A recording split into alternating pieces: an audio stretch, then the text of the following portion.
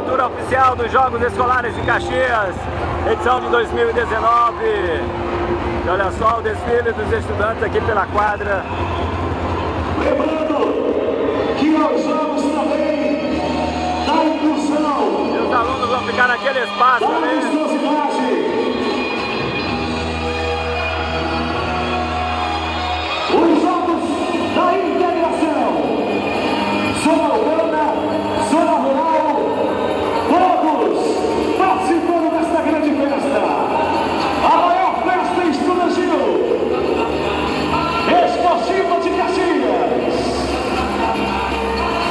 19 modalidades esportivas, 20 modalidades esportivas, 67 instituições. 67 escolas, 2.750 8.750 atletas.